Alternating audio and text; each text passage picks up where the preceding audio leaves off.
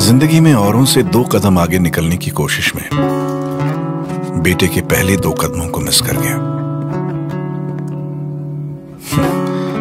Boss की डांट सुनते सुनते बेटे के पहले शब्द नहीं सुन पाया।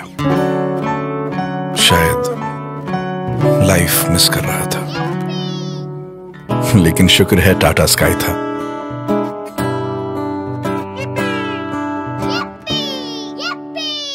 ज़िंदगी की इस बड़ी गणित में रोहन की छोटी गणित मिस नहीं हुई। उसका बचपन मिस नहीं हुआ।